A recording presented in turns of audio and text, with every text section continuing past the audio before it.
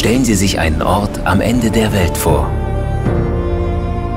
Stellen Sie sich ein kleines Paradies mit unglaublichen Landschaften vor. Stellen Sie sich vor, die ganze Welt würde Ihnen gehören. Stell dir nun die Menschen vor, Menschen mit großen Herzen und offenen Armen. Chile ist wie seine Menschen. Chile ist wie seine Landschaften.